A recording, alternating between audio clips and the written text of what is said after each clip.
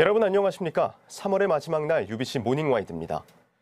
오늘과 내일 이틀간 실시되는 4월 5일 보궐선거의 사전투표가 오늘 새벽 6시부터 시작됐습니다. 투표소에 나가 있는 취재기자 연결해 사전투표 진행 상황 알아보겠습니다. 배윤주 기자.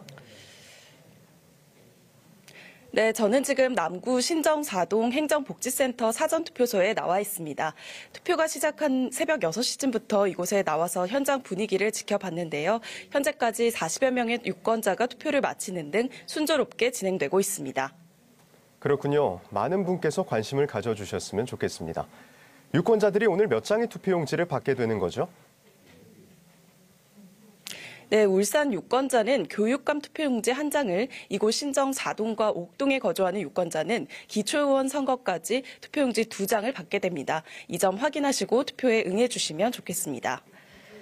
사전투표는 내일까지 이틀간 울산 지역 56곳의 사전투표소에서 진행됩니다.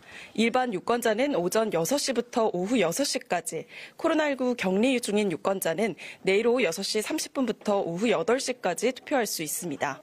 대부분 지난 8회 지방선거 사전투표소와 같은 곳으로 유권자들의 혼란을 최소화했습니다. 보궐선거일은 공휴일이 아닌 만큼 선관위는 사전투표 참여를 독려하고 있는데요. 사전투표는 2013년 처음 도입된 이래 지속적으로 참여가 증가하고 있습니다. 지난 2014년 지방선거와 함께 치러진 교육감 선거 때 10.7%를 기록했고 지난해 대통령 선거 때는 35.3%, 지난해 지방선거 때는 19.65%를 기록했습니다. 오늘 사전투표는 신분증만 지참하면 전국 어디서든 참여가 가능한 만큼 소중한 한 표 행사하시면 좋겠습니다. 지금까지 사전투표소에서 UBC 뉴스 배윤주입니다.